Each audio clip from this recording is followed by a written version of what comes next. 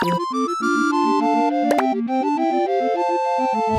んにちは、しおちゃんのお時間です。世界最大級の無脊椎動物であるダイオウイカが泳いでいる姿を実際に見てみたいと思ったことがある方は多いのではないでしょうか。しかし残念ながら、現在、生きたダイオウイカを水族館で見ることはできません。それではなぜダイオウイカを飼育することができないのでしょうか。そこで今回はダイオウイカの生態を見るとともに、飼育できない理由について解説していきたいと思います。しおちゃんでは生物などを解説しているので、ぜひチャンネル登録をよろしくお願いします。それでは始めていきましょう。まずダイオウイカが飼育できない理由として、そもそも発見例が少なく、生きた個体を捉えることが難しいことが挙げられます。これはダイオウイカが深海に生息するためです。彼らは日中は水深600から900メートルの中層で餌を探す行動をとっていると見られています。また、夜間は水深400から500メートルの場所まで移動しているかもしれないとのことです。ダイオウイカは北米やヨーロッパ付近の大西洋、ハワイや小笠原諸島付近の太平洋で発見例があり、漂着例はアフリカ、南半球、オーストラリアやニュージーランドでも報告されていることから極地方や赤道付近を除く地球上に広く分布するとされていますしかしこの生物を生きたまま見つけることは困難で時々海岸に弱っている個体が漂着するものの陸揚げ後数日で死んでしまっているのです。生きたダイオウイカの撮影に成功したのは2006年以降で日本の研究船が南方海域で何度かその姿を捉えています。次にダイオウイカが飼育できない理由として飼育の難しさが挙げられます。ダイオウイカは大きいものでは10メートル以上にまで成長すると言われ1966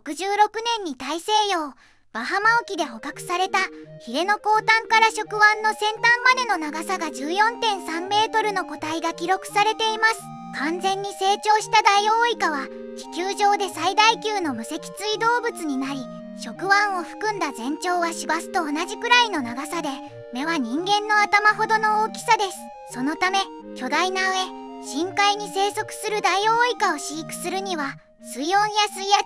酸素濃度などの環境を整える必要がありそのような巨大で高性能な水槽を用意するのはこれまで技術的に困難でした。そもそもダイオウイカに限らず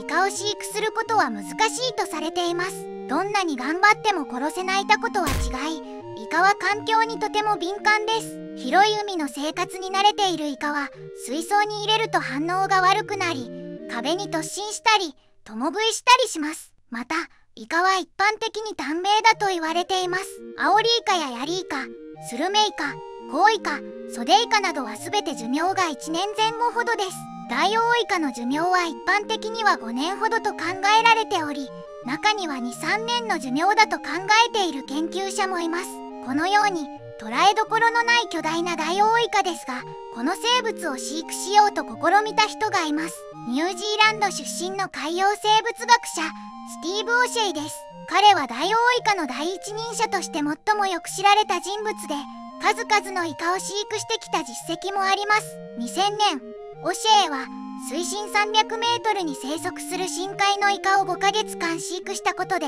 世界記録を樹立しています。そんな彼は成熟したダイオウイカではなくダイオウイカのパララルバを捉えて飼育しようと考えました。パララルバとはイカなどの頭足類の孵化後から生体までの浮遊生段階のことを言います。いわゆるプランクトンです。この段階の大きさはだいたいコオロギくらいになります。パララルバは生態よりもより浅い場所で見つけることができそのため捕獲がはるかに簡単です。さらに若い段階では死亡率が高いにもかかわらずダイオウイカのメスは最大400万個の卵を海に放出するため1匹いれば周りには多くの兄弟がいます。生まれた赤ちゃんのほとんどは彼らより大きな捕食者に食べられますが産卵の時期海はイカの赤ちゃんで溢れているのです。こうしてオシエは5年間ダイオウイカのパララルバを探し続けました。彼はニュージーランド周辺の海域がダイオウイカを捕獲するのに適していると判断しました。熱帯と南極大陸から潮の流れが収束するこの場所では多様な海洋生物が集まりイカの餌となる豊富なプランクトンを作り出しているのです。そして近年他のどの場所よりも多くの死んだダイオウイカが発見されています。こうしてとうとう彼はある夏の夜にダイオウイカが卵を産む場所を発見しました。2001年1ヶ月にわたる遠征の末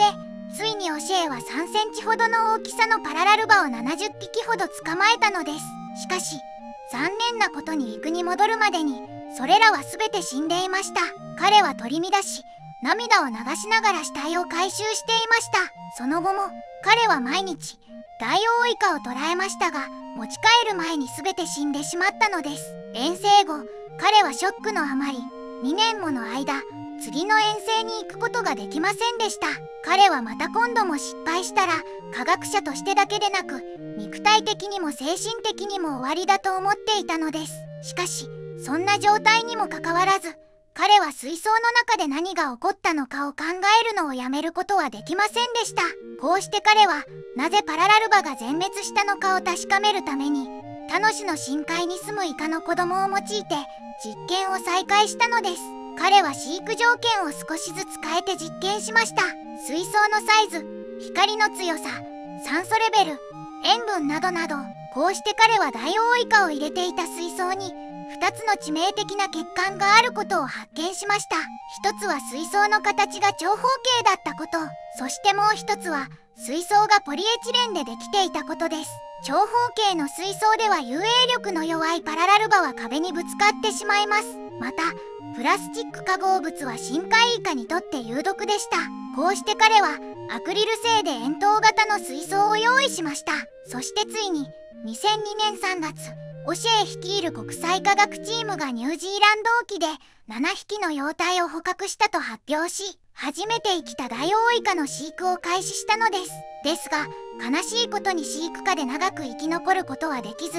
数日後に全て死亡してしまいました。ダイオウイカを成長させることができなかった理由はイカの食性にあると考えられます。イカは生後数週間で急速に食性が変化するため飼育には細心の注意が必要なのです。ダイオウイカは魚など生きた餌を好みこのように新鮮で急速に変化する餌を用意する資金と環境を確保することができませんでした。彼はその後も何度かダイオウイカの飼育に挑戦しましたがいずれも失敗に終わっています。最後にダイオウイカの食用の問題について挙げておきます。ダイオウイカは浮力を得るためのアンモニアが入った液胞を持つため独特の匂いがあるとされます。食べた人たちの意見を聞いてみると食べられないことはないがアンモニア臭があるイカの味はするものの噛んでいるうちにえぐみや苦みが出てきて美味しくない。イカ特有の歯ごたえはなくまた塩辛く塩の塊を食べているようで美味しくはない